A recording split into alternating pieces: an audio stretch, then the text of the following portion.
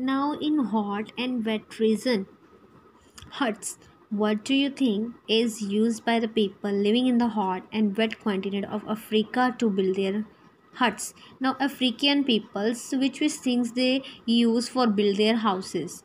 They use grass. African peoples use grasses leaves vines which grow there and are available in a plenty to build their huts. Plenty means amount. Firstly we can read now firstly we done meaning of plenty that amount uh, grass in very large amount available on in uh, african areas. That's why they uses grass leaves vines uh, which grow there and are available in a plenty. Available means easily available. La- in a large amount available that they build their houses like that they build their huts using grass leaves and vines. Next stilt houses. Look at these houses